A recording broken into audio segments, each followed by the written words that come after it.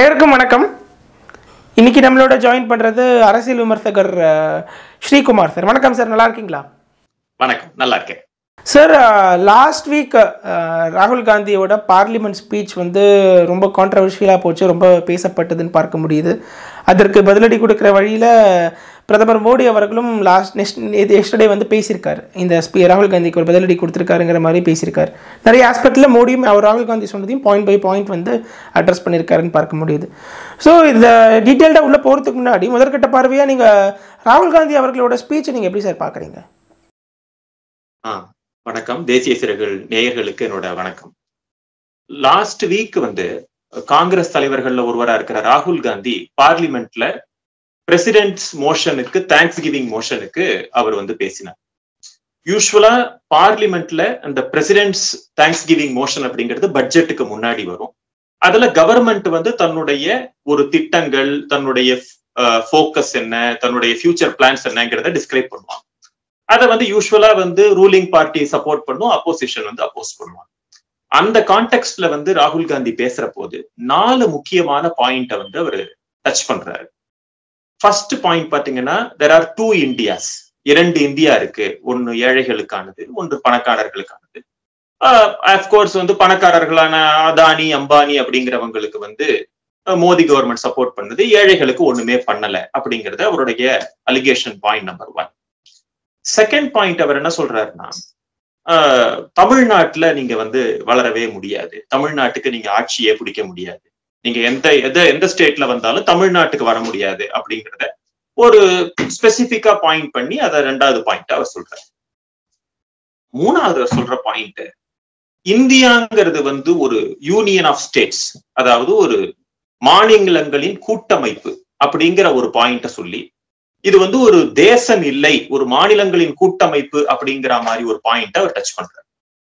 நாலாவது நீங்க வந்ததுக்கு அப்புறம் தான் அதாவது மோடி சர்க்கார் கவர்மெண்ட் வந்ததுக்கு அப்புறம் தான் சைனாவும் பாகிஸ்தானும் ஒன்னாச்சு அதாவது அவங்களுடைய enmity towards India strategist against India அது எல்லாமே பாத்தீங்கன்னா அவங்க ரெண்டு பேரும் கை கோர்த்தது வந்து மோடி கவர்மெண்ட் வந்ததுக்கு அப்புறம் தான் அப்படிங்கிற பாயிண்ட்டையும் அவர் டச் பண்றாரு. இந்த நாலு முக்கியமான பாயிண்ட வச்சுதான் அவர் அட்லீஸ்ட் ஒரு forty five minutes long speech அது அதுல வந்து அவர் சொல்றது இந்த நாலு பாயிண்ட பேஸ் பண்ணி இப்போது இதில் நம்ம ஒவ்வொரு பாயிண்ட்டாக போகும்போது எல்லா பாயிண்ட்டுக்குமே வந்து பிஎம் மோடி வந்து பதிலடி கொடுத்துருக்காருன்னு பார்க்க முடியுது. இப்போது ஃபஸ்ட்டு அவர் டூ இந்தியாஸ்ன்னு சொல்கிறாரு ஏழைகளுக்கான இந்தியா பணக்காரர்களுக்கான இந்தியான்னு. இது வந்துட்டு டூ தௌசண்ட் ஃபோர்டீனுக்கு மோடி கவர்மெண்ட்டுக்கு அப்புறம் நடக்கிற விஷயம்னு சொல்ல முடியாது. இது சுதந்திரத்துக்கு அப்புறத்துலேருந்தே அப்படி தான் இருக்குது அதுவும் ரெண்டாயிரத்தி பதினாலுக்கு அப்புறம் பார்த்தால் நம்மளோட பாவர்ட்டி ரேட்ஸ் வந்து டிராஸ்டிக்காக குறைஞ்சிருக்குன்னு பார்க்க முடியுது. இது எப்படி பார்க்குறீங்க சார் இந்த விஷயத்தை? அதுவும் மோடி கொடுத்த பதிலும் எப்படி பார்க்குறீங்க நீங்கள் முதல் பாயிண்ட்ல பாத்தீங்கன்னா இந்த டூ இந்தியாஸ் அப்படின்னு அவர் சொல்ற போது திரு ராகுல் காந்தி சொல்றதுலயே அதுல ஒரு ஆழம் இல்லாம இருந்து ஏன்னா ரெண்டு இந்தியா அப்படிங்கிறாரு ஏழைகளுக்கு நீங்க ஒண்ணுமே பண்ணல பண்ணல அப்படிங்கிறாரு. உங்க திட்டம் எதுவுமே மோடி கவர்மெண்டோட திட்டம் எதுவுமே ஏழைகளை போய் ரீச் ஆகல அப்படிங்கிறாரு. ஒரு சில பணக்காரர்களுக்கு மட்டும்தான் அது ஃபேவர் பண்ணுது அப்படிங்கிறாரு. இதுல வந்து அவருடைய ஸ்பீச்ல வந்து ரொம்ப ஆழம் இல்லாம இருக்கிறத நான் பார்க்க முடியும். ஏன்னா அதுக்கு என்னுடைய கருத்தோட இல்லாம திரு மோடி அவர்களும் நேத்திக்கு அவரோட கொடுத்த பதிலடியில பாத்தீங்கன்னா ஸ்பெசிபிக்கா சொல்றது டிஃபரெண்ட் ஸ்கீம்ஸ வந்து அவர் ஒன் பை ஒன்னா ப்ரோ புவர் ஸ்கீம்ஸ் என்ன அப்படிங்கறத வந்து அவர் மென்ஷன் பண்ணி கடைசியா அதுல ஒரு பாயிண்ட் சொல்றாரு. ஏழைகள் என்னைக்குமே தனக்கு நல்லது பண்ற கவர்மெண்ட்டை மாத்தணும்னு நினைக்க மாட்டாங்க. வேற டூ தௌசண்ட் ஃபோர்டீன்ல உங்களை வந்து மாத்திருக்காங்க. அண்ட் எங்களை டூ தௌசண்ட் நைன்டீன்ல திரும்பி கொண்டு வந்திருக்காங்க. அப்படின்னா ஏழைகளுக்கு எங்க கவர்மெண்ட் நல்லது பண்றதுனாலதான் நிறைய ஸ்கீம்ஸ வந்து ரோல் அவுட் பண்றது மூலியமா தான் எங்க மேல நம்பிக்கை வச்சு ஏழைகள் எங்களை திரும்பி ரீஎலக்ட் பண்ணிருக்காங்கிற பாயிண்ட வந்து அவர் அண்டர்லைன் பண்றாரு. அதோட இல்லாம அவர் முக்கியமா அவர் சொல்ற ஒரு பாயிண்ட் என்ன அப்படின்னு பாத்தீங்கன்னா நாங்க செஞ்ச எல்லாமே அந்த pyramid of economically down section இந்த எக்கனாமிக்ஸ்ல பாத்தீங்கன்னா ஒரு பிரமிடு மாதிரி அதை வந்து நீங்க அசியூம் பண்ணிக்கிட்டா ஏழை மக்களும் நடுத்தர வர்க்கத்திற்கு கீழே உள்ளவங்களும் நலிவடைந்த மக்களும் பாத்தீங்கன்னா பிரமிடோடைய பேஸ்மெண்டா இருப்பாங்க. அது மேல போக போக பாத்தீங்கன்னா economically sophisticated people rich people well off people வந்து மேல இருப்பாங்க. அவங்களோட எண்ணிக்கை ரொம்ப கம்மி. சோ அந்த பிரமிடோடைய பேஸ்மெண்ட்டை வந்து அந்த ரெக்குயர்மெண்ட்டை ஃபில் பண்ணி வந்துகிட்டே இருக்கிற போது அவங்களுடைய ரெக்குயர்மெண்ட்டும் அதுல ஃபுல்ஃபில் ஆகுது. சோ அதை வந்து டச் பண்ணி திரு மோடி அவர்கள் அதை பேஸா வச்சு அவர் பேசினார் நேத்திக்கு. சோ அந்த விஷயத்துல திரு ராகுல் காந்தியோட அலிகேஷனுக்கு அவர் கவுண்டர் கொடுத்தா மாதிரியும் ஆச்சு. பிளஸ் வந்து பொலிட்டிக்கலா ராகுல் காந்தி சொல்லத்துல வந்து ஒரு ஆழம் இல்லை அப்படிங்கிறதும் தெரிய வேண்டும் சரி இதற்கு பிறகு நம்ம பார்க்கும்போது அதுவும் தமிழ்நாட்டில் முக்கியமாக பேசப்பட்டதே இந்த இந்த பாயிண்ட் தான் பார்க்க முடியுது. எந்த காரணத்தை கொண்டும் பாஜகவால் தமிழ்நாட்டில் ஆட்சிக்கு வரவே முடியாது அப்படிங்கிற மாதிரி ஒரு விஷயமும் வந்து ராகுல் காந்தி சொன்னார். இது எப்படி நீங்கள் பார்க்குறீங்க? அதுவும் நம்ம காங்கிரஸ் எடுத்து பார்த்தாலும் பாஜக கட்சி ஆரம்பித்ததே வந்து ஜனசங்கம்னு முன்னாடி இருந்தாலும் பாஜகவை ஆரம்பித்தது ஆயிரத்தி தொள்ளாயிரத்தி எண்பத்தி நாலு தான். ஆனால் ஆயிரத்தி தொள்ளாயிரத்தி அறுபத்தி ஏழுலேருந்தே அதற்கு ஒரு பதினேழு வருடங்களுக்கு முன்னாடியிலேருந்தே காங்கிரஸால் தமிழ்நாட்டில் ஆட்சிக்கு வர முடியலங்கிற ஒரு விஷயமும் ஒன்று இருக்குது பாஜகவால் வர முடியல அப்படிங்கிற ஒரு விஷயம் இருந்தாலும் படம் ஏ எதிரி வரல? நான் வரலனாலும் பரவாயில்ல அப்படிங்கிற மாதிரி பேசுகிற மாதிரி ராகுல் காந்தி இது இல்லையா? இது எப்படி பார்க்குறீங்க இந்த விஷயத்த? இது ஒரு பாயிண்ட் அவர் டச் பண்ணாரு. அதாவது நீங்க தமிழ்நாட்டுக்கு வரவே முடியாது. இதுக்கும் திரு மோடி அவர்கள் வந்து பதில் சொல்லி ஒரு சில ஸ்டேட்ஸ் அவர் மென்ஷன் பண்ணி இந்த ஸ்டேட்ஸ்ல நீங்க எத்தனை வருஷமா வர முடியலங்கிறத உங்களை நினைச்சு பாருங்க அப்படின்னு சொல்றாரு. ஃபார் எக்ஸாம்பிள் இப்போ நைன்டீன் சிக்ஸ்டி செவனோட தமிழ்நாட்டுல வந்து பக்தவத்சலம் அவர்களுடைய ஆட்சிக்கு அப்புறம் காங்கிரஸ் வரவே இல்லை. கிட்டத்தட்ட ஐம்பத்தஞ்சு வருஷ காலம். நைன்டீன் செவன்டி செவன்ல வெஸ்ட் பெங்கால்ல சித்தார்த் சங்கர் ரேக்கு அப்புறம் காங்கிரஸ்னால அங்க வர முடியல. நாற்பத்தஞ்சு வருஷ காலம். அதே மாதிரி பாத்தீங்கன்னா உத்தரப்பிரதேஷ் திரு என் டி திவாரிக்கு அப்புறம் பீகார் ஜெகநாத் மிஸ்ராக்கு அப்புறம் நைன்டி நைன்டிக்கு அப்புறம் வரவே முடியல. முப்பத்தஞ்சு வருஷ காலம்.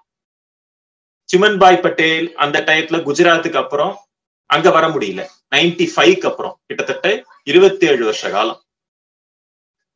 அதே மாதிரி ஒரிசால திரு ஹேமானந்த பிஸ்வாஸ் அவருக்கு அப்புறம் டூ தௌசண்ட்க்கு அப்புறம் வர முடியல. இருபத்தி ரெண்டு வருஷ காலம்.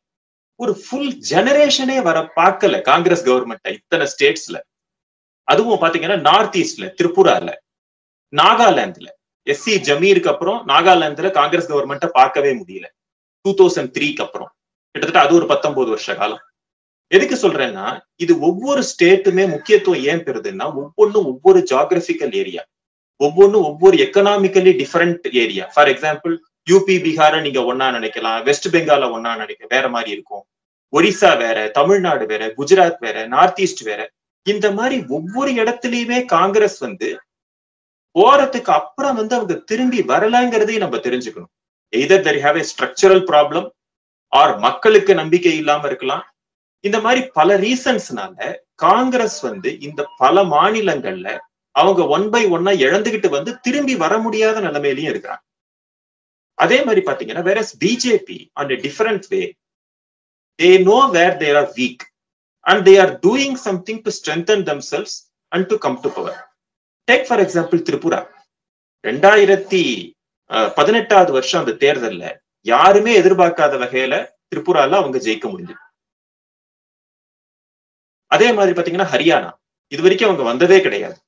அவங்க வந்து டூ தௌசண்ட் ஃபோர்டீன் எலெக்ஷன்ல அசம்பிளி அதுக்கு பார்லிமெண்ட் எலெக்ஷனுக்கு ஃபாலோ பண்ணி வந்த அசம்பிளி எலெக்ஷன்லயும் அவங்க ஜெயிக்க முடியும் இந்த மாதிரி அவங்க ஸ்ட்ரக்சரலா வீக்கா இருக்கிற இடத்தையும் ஒன் பை ஒன்னா அவங்க பார்த்து பண்ணாங்க. And another also for example Jammu Kashmir Jammu காஷ்மீர்ல ஒரு பார்ட் ஆஃப் த கவர்மெண்டாவே அவங்க மாற முடிஞ்சு.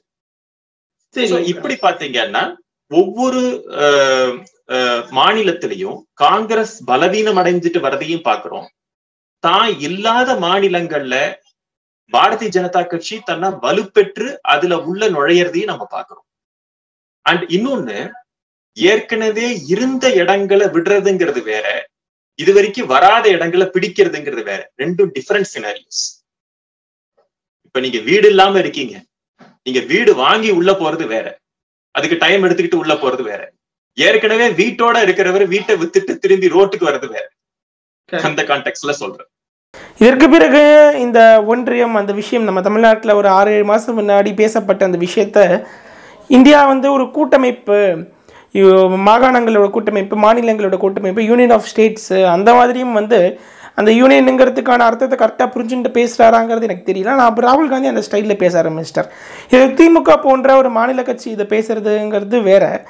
ஒரு ஆயிரத்தி தொள்ளாயிரத்தி நாற்பத்தேழுலேருந்து ஆட்சி ஆட்சியில் இருந்த கட்சி அந்த குடும்பத்தில் தான் இருந்து தான் நிறைய பேர் ஆட்சியிலையும் இருந்திருக்காங்க.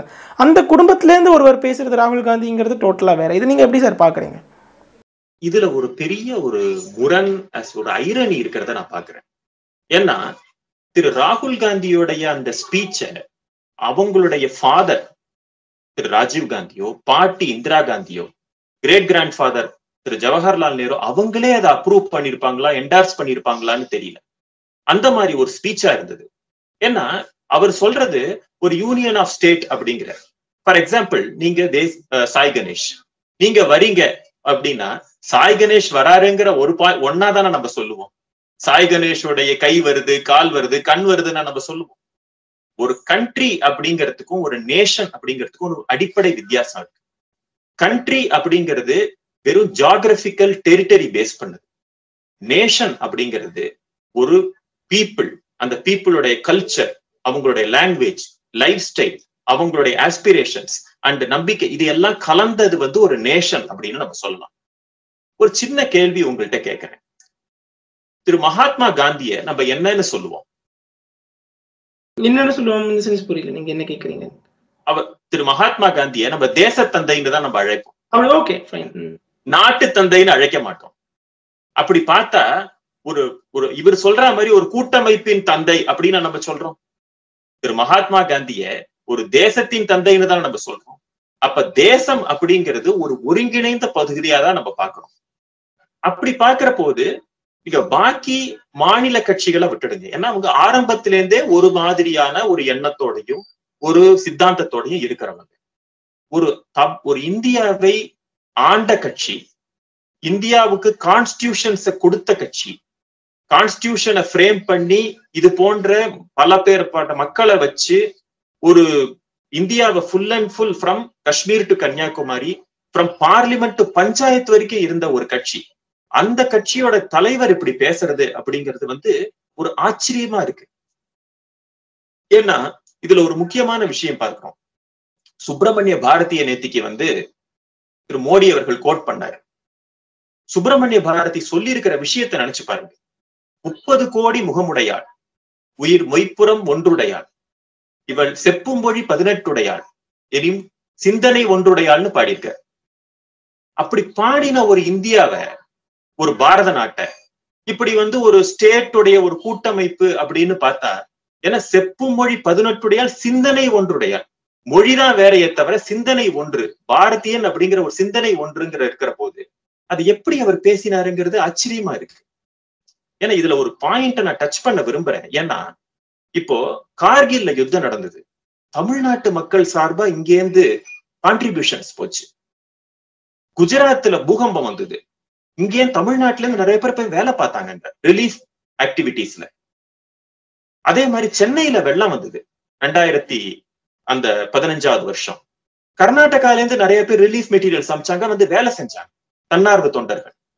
சோ ஒரு நாட்டுக்கு ஒரு பேரிடர் ஒரு ஆபத்து அப்படிங்கிற போது தேசமே ஒன்னா யோசிச்சு நினைச்சு அவங்க ஒன்னே ஒரே பாதையில அவங்க சிந்திக்கிற போது நீங்க எல்லாருமே வந்து வெவ்வேறு ஸ்டேட்ஸ் ஆனா ஒரு ஏதோ ஒரு யூனியனா தான் நீங்க எல்லாம் இருக்கோம் அப்படிங்கிறது வந்து ஒரு தேசத்தை பலவீனப்படுத்துற முயற்சியா நான் பாக்குறேன் பிரதமர் மோடி அவர்கள் முப்படை தளபதி பிபின் ரவாத் அவர்களோட இறுதி ஊர்வலம் அந்த கோவை சைட்ல போகும்போது அங்கே மக்கள் வந்து மலர் தூவி மரியாதை செலுத்தினாங்க. அந்த ஒரு எக்ஸாம்பிள் சொன்னார். அது வந்துட்டு அந்த நேஷ்னல் ஐடென்டிட்டி இது வந்துட்டு உணர்த்துறது அப்படிங்கிற மாதிரி. இது எப்படி சார் நீங்கள் பார்க்குறீங்க அது உண்மையான ஒரு விஷயம். ஏன்னா மக்களை வந்து யாரும் நீங்க வந்து மலர் தூவி அஞ்சலி செலுத்துங்கன்னு யாருமே கட்டாயப்படுத்த மக்களா தன்னெழுச்சியா வந்தாங்க. திரு பிபின் ராவத் அவர்களுடைய இறுதி ஊர்வலத்துக்கு மக்கள் தன்னெழுச்சியா ஒன்றியம் ஒன்றியம்னு சொல்லுங்கன்னு கட்டாயப்படுத்தல. அப்படி சொல்றீங்க. கரெக்ட் யாருமே அவங்களை கட்டாயப்படுத்தலையே. அவங்களை இது மாதிரி ஒருத்தர் இறுதி ஊர்வலம் வரப்போகுது அப்படின்னு சொல்லவும் இல்லை. அவர் நம்ம தமிழ்நாட்டை சேர்ந்தவரும் இல்லை. ஆனா அவர் ஒரு நேஷனல் ஐக்கானா மக்கள் பார்த்தாங்க. சோ இந்த விஷயத்துலதான் நான் சொல்ல விரும்புறேன். தமிழ்நா தமிழ்நாடு உள்ள மற்ற எந்த மாநிலமாக இருந்தாலும் அந்த எல்லா மாநிலங்களுக்கும் சில ரீஜனல் ப்ராப்ளம்ஸ் அல்லது ரெக்குவயர்மெண்ட்ஸ் எக்ஸ்பெக்டேஷன்ஸ் இருக்கலாம். ஆனா அதுக்கு மேல இந்தியா அப்படின்னு வரும்போது பாரதம் அப்படின்னு வரும்போது எல்லாரும் அதுல ஒண்ணு சேர்றாங்க. அதுவும் தன்னெழுச்சியா ஒண்ணு சேர்றாங்க அப்படிங்கிறது இதுல குறிப்பிடத்தக்க ஒரு விஷயம். அந்த ஒரு பாயிண்ட் தான் திரு மோடி அவர்கள் நேத்திக்கு தன்னோட ஸ்பீச்ல வந்து கோடிட்டு காமிச்சார். சார் அப்ப இன்னொரு விஷயமும் வரதான சொன்னார். நீங்கள் முன்னாடியே நாலு விஷயம் சொன்னீங்க. அதாவது லோக்கல் பாலிடிக்ஸ் பேசிட்டு இருந்த ராகுல் காந்தி இப்போ ஜியோ பாலிடிக்ஸ் பேசுகிறாரு ஸோ அவர் வந்து சைனாவும் பாகிஸ்தானும் மோடி கவர்மெண்ட் வந்ததுக்கு அப்புறம் தான் ஒன்று சேர்ந்தாருங்கிற மாதிரி சொல்கிறார் ஆனால் ஹிஸ்ட்ரி நம்ம எடுத்து பார்க்கும்போது பாகிஸ்தான் சைனாவோட அந்த நியூக்ளியர் ப்ரோக்ராம் இருக்கட்டும் அந்த பார்ட்னர்ஷிப்புங்கிறது எயிட்டிஸ்லேயே ஆரம்பிச்சிருது ரெண்டு பேருக்கும் செவன்டிஸ் எயிட்டிஸ்லேங்கிறதும் பார்க்க முடியுது. அதுவும் பாகிஸ்தான் ஆக்குபைடு காஷ்மீரில் இருக்கக்கூடிய ஒரு பார்ட்டி தூக்கி அவங்க எப்பயோ சைனாக்கு நான் சொல்கிறது ஒரு நாற்பது ஐம்பது வருடங்களுக்கு முன்னாடியே வந்து எனக்கு எந்த வருடம்னு கரெக்டாக தெரியல. சைனாவிற்கு கொடுத்துருக்காங்க இது நிறைய பேருக்கு தெரியாது. இந்த அளவிற்கு காங்கிரஸ் கவர்மெண்ட் இருக்கும்போது கா சைனா பாகிஸ்தான் பார்ட்னர்ஷிப் அந்த ஒரு ஹிஸ்ட்ரி இருந்தபோது ராகுல் காந்தி இப்போ சொல்கிற இப்படி இப்போ மோடி கவர்மெண்ட் வந்ததுக்கு அப்புறம் தான் இது நடக்கிறதுன்னு சொல்கிறது நீங்கள் எப்படி சார் பார்க்குறீங்க? ஆ இதில் ஒரு முக்கியமான விஷயம் திரு ஜெய்சங்கர் அதாவது நம்ம நாட்டுடைய வெளியுறவு அமைச்சர் அவருடைய ஸ்பீச் ராகுல் காந்தி அவர்களுடைய ஸ்பீச் முடிஞ்ச உடனேயே தன்னோட ட்விட்டர் பக்கத்துல அதுக்கு பதில் கொடுத்திருந்தாருங்கிறத பார்க்க முடியுது.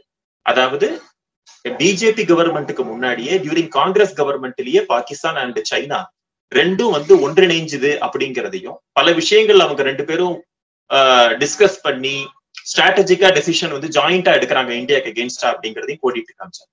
இதை விட முக்கியம் திரு நட்வர் சிங் காங்கிரசின் மூத்த தலைவர்.